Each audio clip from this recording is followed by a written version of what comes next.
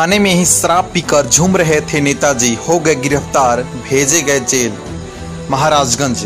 Police ने गुरुवार की देर शाम शराब के नशे में धुत जदयू के पूर्व प्रखंड अध्यक्ष अभय कुमार उपाध्याय उपझामा बाबा को गिरफ़्तार कर शुक्रवार को जेल भेज दिया।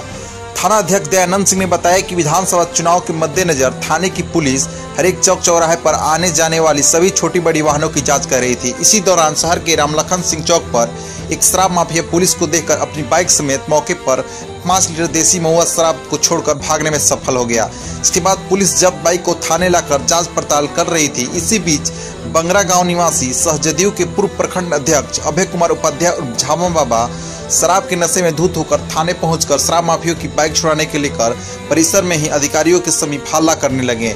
नशे की हालत में हंगामा कर रहे पूर्व जदयू अध्यक्ष को जब शराब जाँच करने वाली मशीन माउथ एनालाइजर से जाँच कराया गया तो उनकी शराब पीने की पुष्टि हुई, जिसके बाद पुलिस शराब अधिनियम के तहत थाना कांड संख्या दो सौ छियासठ में गिरफ़्तार कर अभियुक्त को जेल भेज दिया गया।